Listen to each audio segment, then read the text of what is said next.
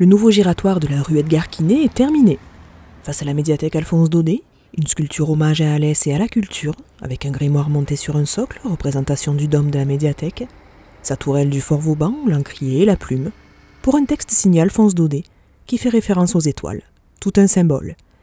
Une opération réalisée dans le cadre des États généraux du cœur de ville et du réaménagement de la médiathèque et son pourtour.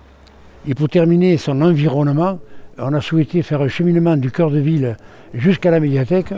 On a en premier lieu des livres qui servent de siège devant l'école et c'est terminé par euh, le livre au milieu de la rue où Alphonse Daudet euh, prônait depuis 20 ans l'hommage qu'on a rendu il y a 20 ans à Alphonse Daudet et qui aujourd'hui continue.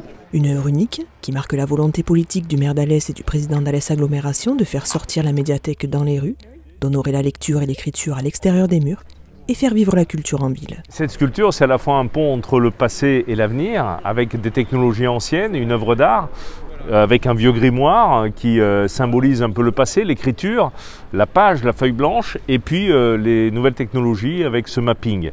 Et cette sculpture, euh, qui est réalisée par une, association artistique, Art Attack en l'occurrence, est une sculpture qui permet euh, de sortir de la médiathèque le livre. Et vous savez qu'ici à l'Est, nous sommes euh, des, promoteurs du livre à travers le prix, le Cabri d'Or par exemple, à travers l'ensemble des ouvrages que nous trouvons dans notre médiathèque Alphonse Daudet, la médiathèque communautaire.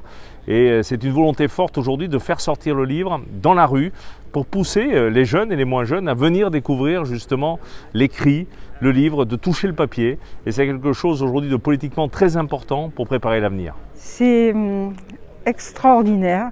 C'est un retour vers de la littérature et euh, avec la maturité, eh bien, on, on y met une dimension différente, plus philosophique sur la vie. On apprend à vivre dans tous les livres. Un projet qui a nécessité presque neuf mois de travail. Diverses entreprises, toutes locales, y ont participé. La sculpture a donc été conçue et réalisée par l'association alésienne Art Attack en lien avec les services de la ville, notamment le pôle environnement urbain. C'est fait en polyester, résine polyester, la même résine qui sert à faire les hélicoptères, les bateaux, les canoës, avec euh, de la fibre de verre, renforcée en fibre de verre.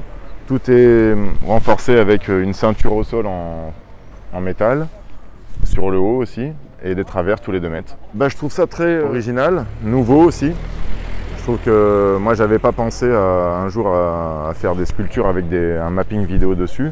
Et euh, le résultat vaut le coup, donc euh, je regrette rien et je demande euh, à recommencer demain s'il faut. C'est l'entreprise Grand Alésienne S Group, leader des ressources et solutions audiovisuelles, techniques et scénographiques pour le live et l'événementiel, qui signe la réalisation lumineuse et mapping 3D. Alors en fait c'est une technologie toute innovante en fait. On utilise cette technologie sur les immeubles, on utilise cette technologie en fait sur des scènes mondiales. On a osé ici, euh, en tout cas sur, sur ce rond-point à Alès, euh, mettre les toutes nouvelles technologies euh, télé et sur l'architecture sur ce livre. deux technologies différentes. La première, c'est l'incrustation de LED point à point. Plus de 4000 LED ont été incrustés dans ce livre. Des LED de toutes les couleurs, multicolores, qui vont permettre justement d'avoir une lecture toute homogène et d'une beauté fabuleuse et également un mapping.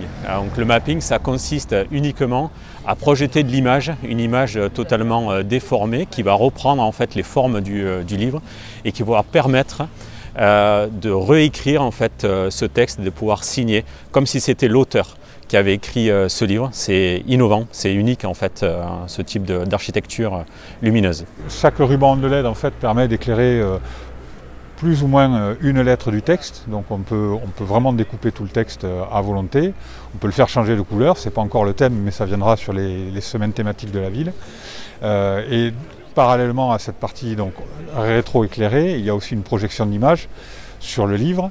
Donc là, pour l'instant, on a, on a la plume de l'auteur qui réécrit le texte. J'espère qu'on viendra à développer plus, plus d'images, notamment sur la page de gauche. De jour comme de nuit, cet aménagement atypique et artistique continue d'écrire l'histoire d'Alès.